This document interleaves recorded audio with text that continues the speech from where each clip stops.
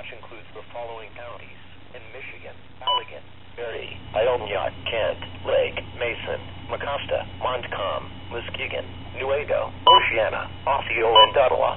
Remember, a tornado watch means that conditions are favorable for the development of severe weather, including tornadoes, large hail, and damaging winds, and close to the watch area. While severe weather may not be imminent, persons should remain alert for rapidly changing weather conditions and listen for later statements and possible warnings. Stay tuned to NOAA Weather Radio, commercial radio and television outlets or internet sources for the latest severe weather information.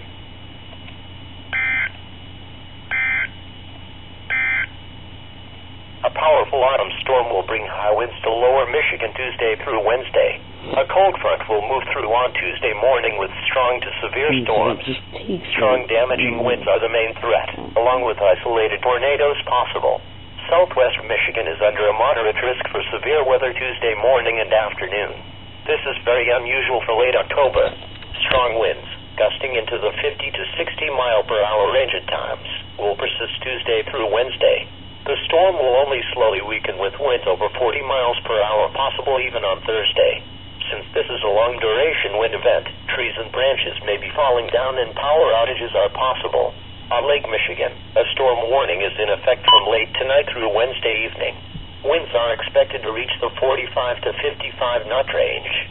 Waves will build into the 10 to 16 foot range over the entire nearshore waters.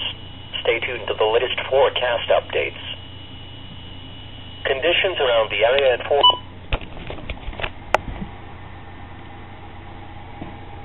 This was actually given to me in email before they actually issued it. And um the yes, the alarm did go off when I made that message.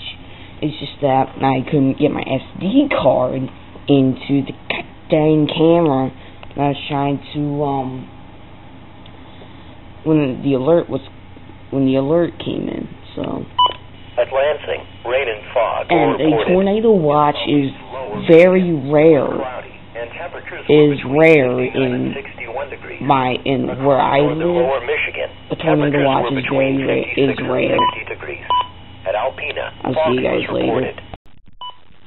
The National Weather Service has issued tornado watch number 720, effective until noon Eastern Daylight Time.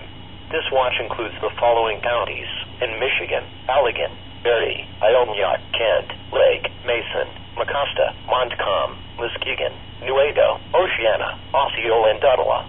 Remember, a tornado watch means that conditions are favorable for the development of severe weather, including tornadoes, large hail, and damaging winds, and, and close to the watch area.